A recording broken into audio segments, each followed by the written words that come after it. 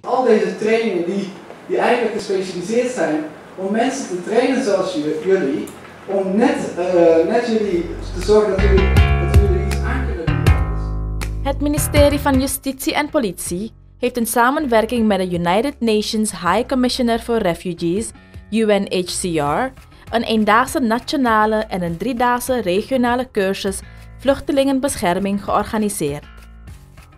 Het vluchtelingenvraagstuk is een wereldwijd probleem en Suriname is vanaf november 1978 partij bij het Vluchtelingenverdrag.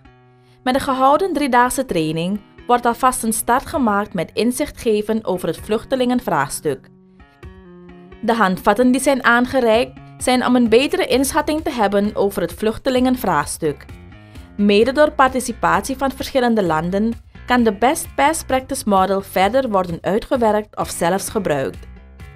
De wettelijke grondslag alleen is niet voldoende. Er moet een mechanisme gecreëerd worden waarin belangrijke stakeholders van de overheid en de particuliere sector vertegenwoordigd moeten zijn.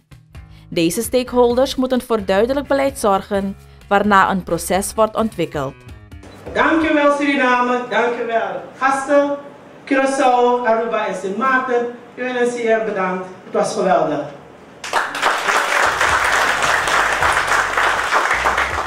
De delegatie van de UNHCR bestond uit de trainer Simone George Delgado als delegatieleider, de Korlaar uit Den Haag, Protection Associate from Hawk Max Verdult van het bureau in Genève en Julia Henby van het bureau in Washington.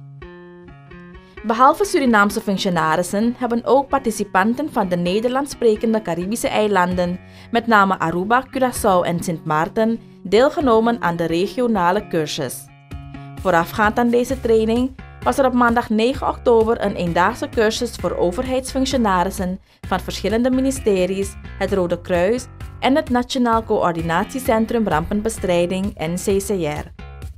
Ter afronding van de eendaagse en driedaagse training ontvingen de cursisten een certificaat.